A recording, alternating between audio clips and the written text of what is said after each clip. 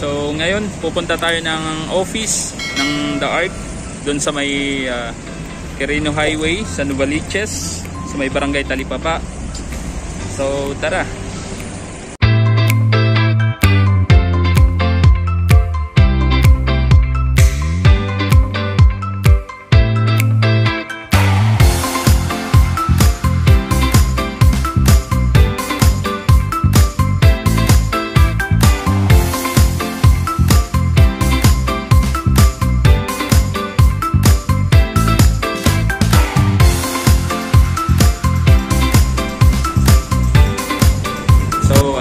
Pa paakyat na tayo ngayon sa office ng The Art.